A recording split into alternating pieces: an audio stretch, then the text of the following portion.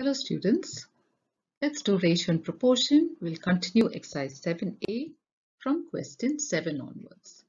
The ratio between two quantities is 3 is to 4 and the first quantity is already given to us as 810.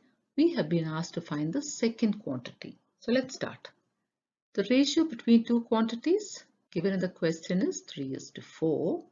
Now let us take the two numbers or the two quantities to be 3x and 4x from the ratio 3 is to 4. Okay.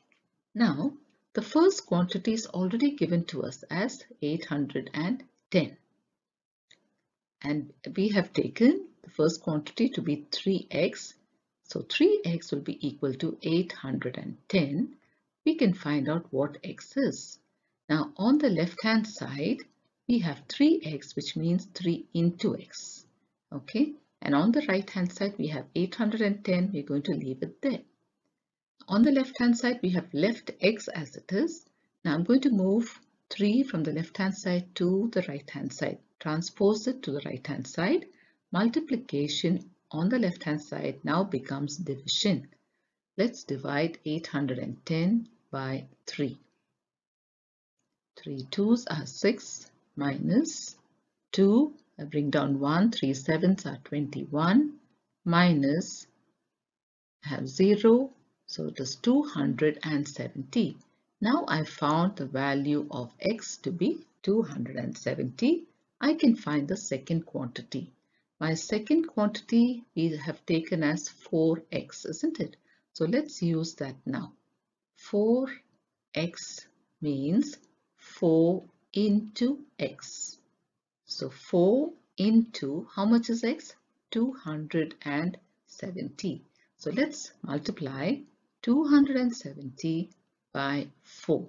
4 zeros are 0, 4 sevens are 28, carry 2, 4 twos are 8, 9, 10.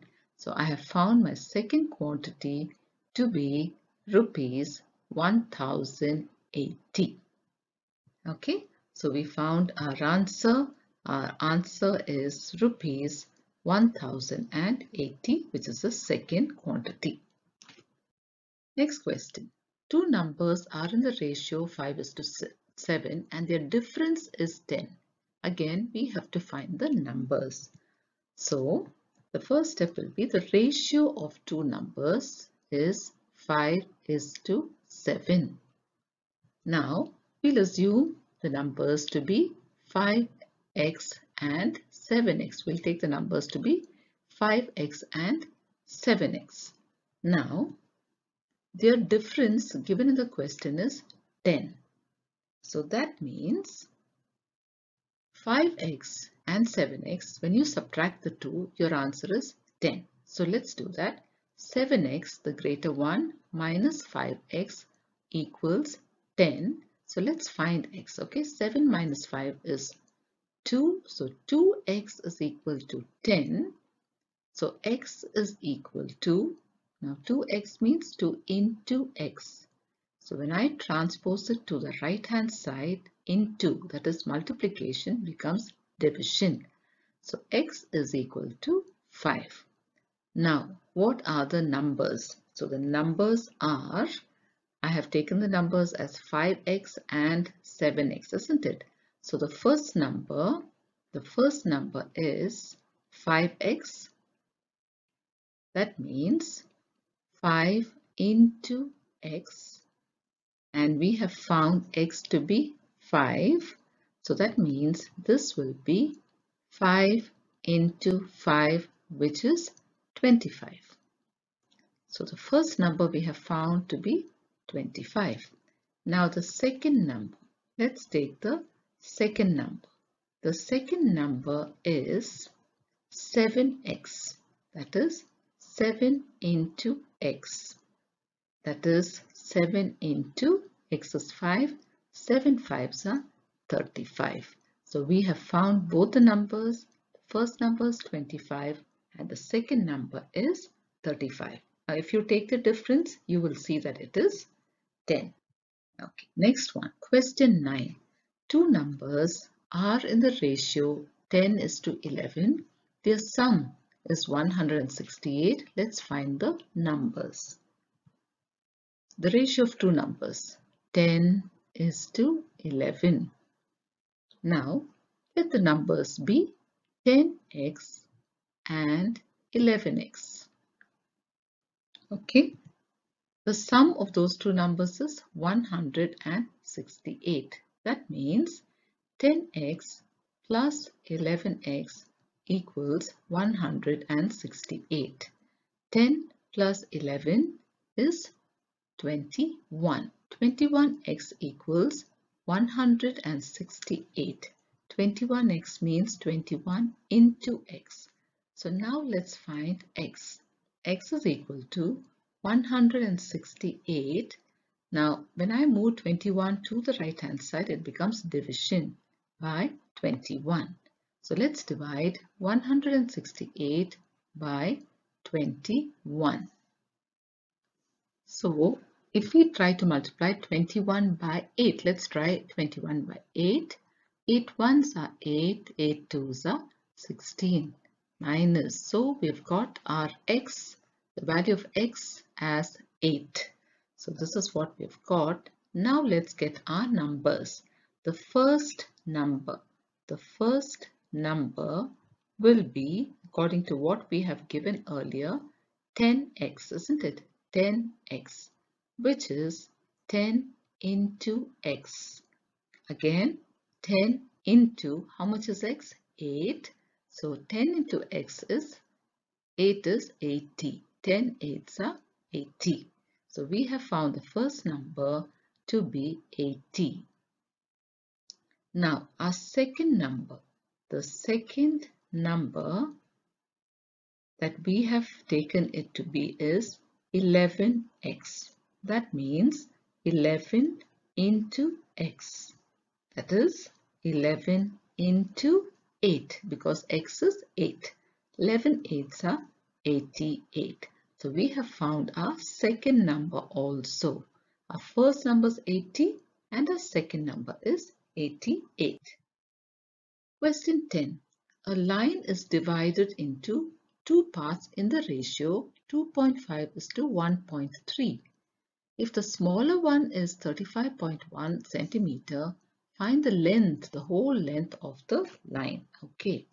The ratio of the two parts is 2.5 is to 1.3. Now, let the two parts be 2.5x and 1.3x. Now, the smaller part as given in the question is 35.1 centimeter.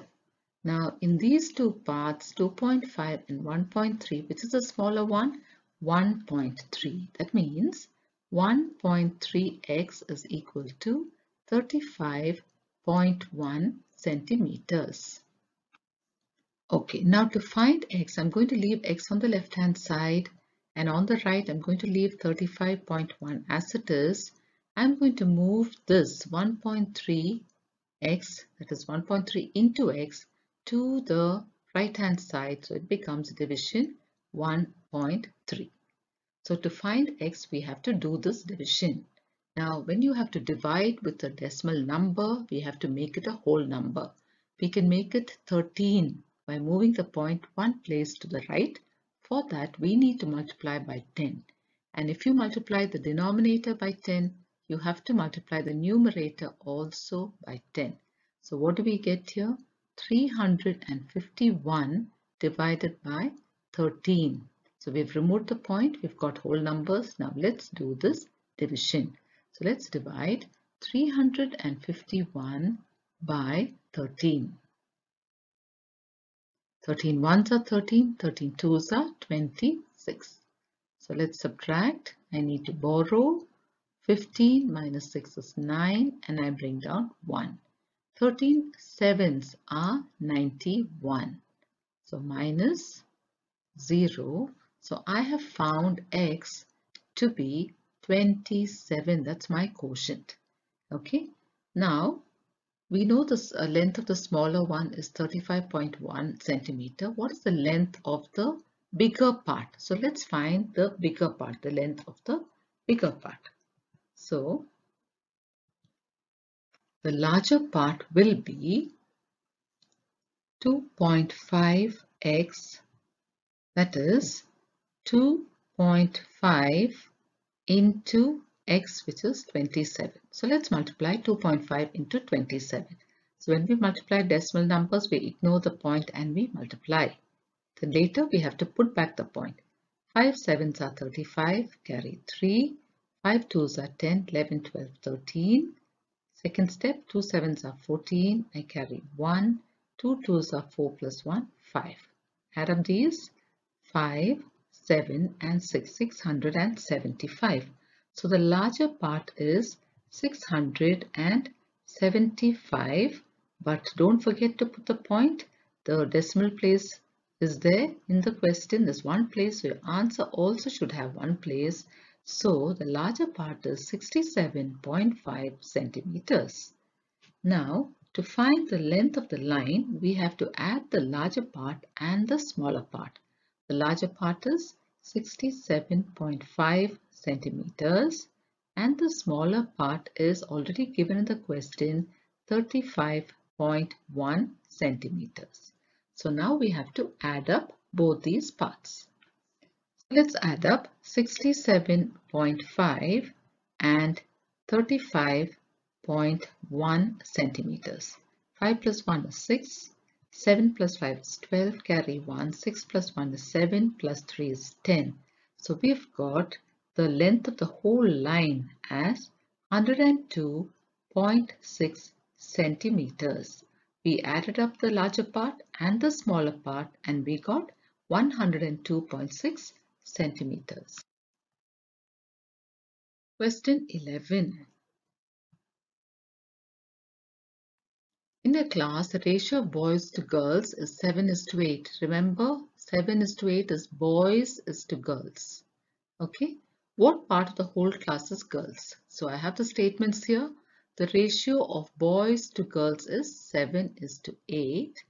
Now let's find the sum of the ratios. That means add up the two. 7 plus 8 is 15. So 7 is for boys, 8 is for girls. So the part of the whole class that is girls will be the second number 8 by 15. Okay. So that was a simple one, isn't it? The girls form 8 15th of the whole class. Question 12. The population of a town is 180,000, out of which males are one third of the whole population. Find the number of females at the first part. We have to find the number of females. Also, find the ratio of the number of females to the whole population. Right, let's start.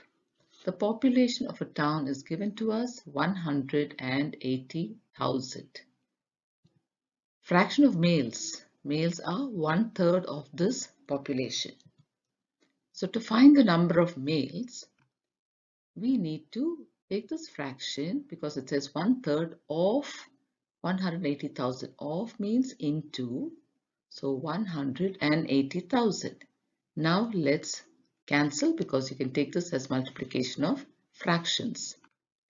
So 3 ones are 3, 3 6 are 18, you can take the 0, this, this and this. So now what do I have? I have 60,000.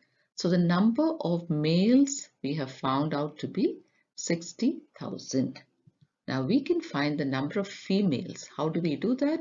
If we take the total population which is given to us as 180,000 and we minus the number of males from it, then what is left will be the number of females. So let's do this subtraction. So 180,000 minus 60,000. 0. Now 0 here. 8 minus 6 is 2 and 1. So we have found the number of females to be 120,000. So the first question is answered, the first part, which says find the number of females and we have found the number of females to be 120,000. Now let's carry on. We are supposed to find the ratio also here. The ratio of females to the whole population. So let's start. The number of females is 120,000. We just found that. And to the whole population, the whole population is 180,000 which is already given to us in the question. Now let's start working this out.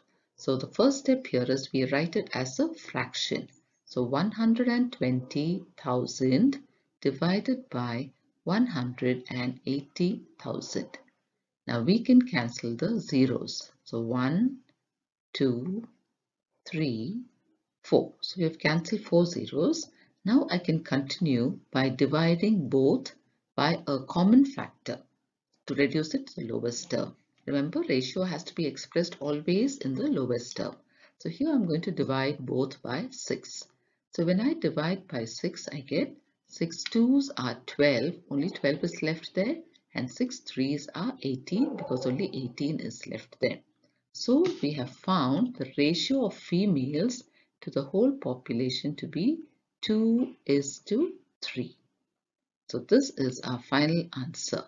The answer to the second part of the question which says find the ratio of the number of females to the whole population.